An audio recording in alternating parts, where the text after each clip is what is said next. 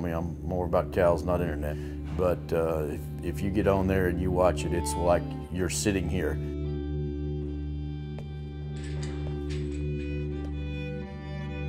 I'm Greg Goudeau, uh, owner of Navasota Livestock. Uh, purchased Navasota Livestock 16 years ago. So This is our start of our 17th year uh, here in 2021. I've always had a passion for the marketing of livestock and always when I was a kid, I always wanted to go to the auction barn. Had the opportunity to purchase Navasota livestock and uh, went to auctioneer school.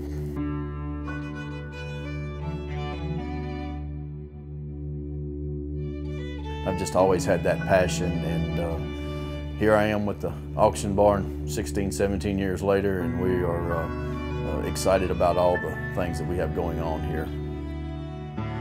This was our first first experience with the Mid-South fiber. Uh, they did a great job. I told them I needed it in by the wean sale that we were having on January the 20th.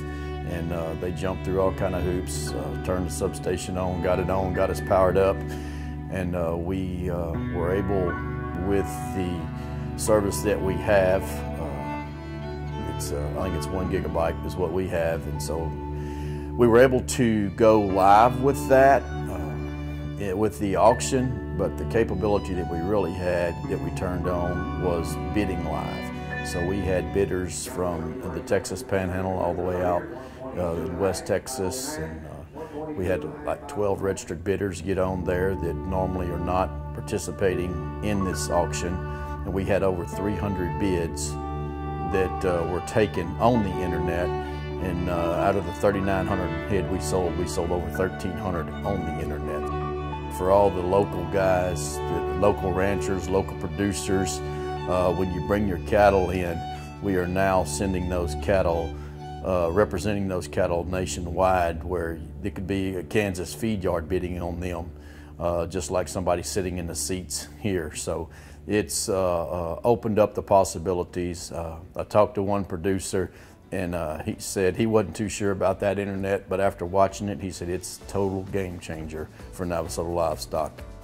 It means a lot to have uh, friends and family. My kids were able to help. My wife was able to help. I think we had about 40 employees come in to help with that.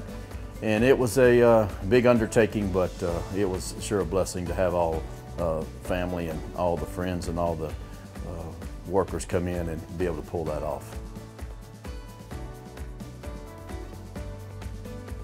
After uh, Navasota Livestock has uh, installed this uh, Mid-South fiber, uh, if you haven't uh, checked into this, uh, you definitely need to.